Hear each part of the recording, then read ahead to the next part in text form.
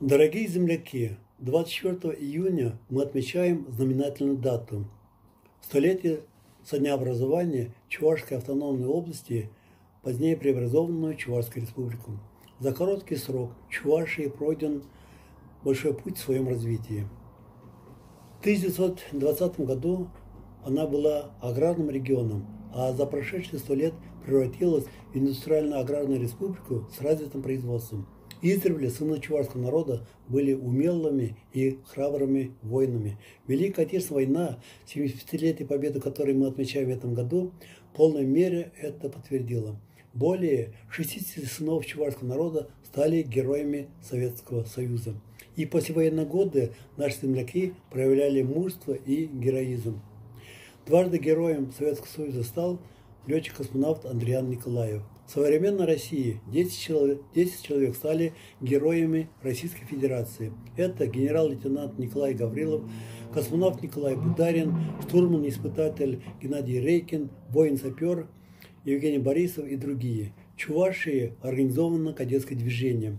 И мы, представители общественной организации товарищи офицеры сына Отечества, под руководством вице-адмирала Владислава Ильина способствуем его дальнейшему развитию. С этой целью мы систематически посещаем родной республикой, где в школах проводим уроки мужества, смотр конкурсы кадетских классов. Мы благодарны педагогическим коллективам общеобразовательных учреждений Чувашии за качественное обучение школьников, за воспитание их в духе патриотизма, любви к отчизне. Следует отметить большой вклад руководства Чувашии патриотического воспитания молодежи в расширении кадетского движения. Искреннюю признательность мы выражаем полномочия представителя Чувашской республики при президенте Российской Федерации Петру Чекмареву и его подчиненным за тесное с нами сотрудничество, оказание всесторонней помощи нашей организации. Я, чувашский парень из простой деревенской семьи, после окончания строительного техникума был призван в ряды вооруженных сил воздушно-десантные войска. Получил академическое образование, стал доктором военных наук, профессором.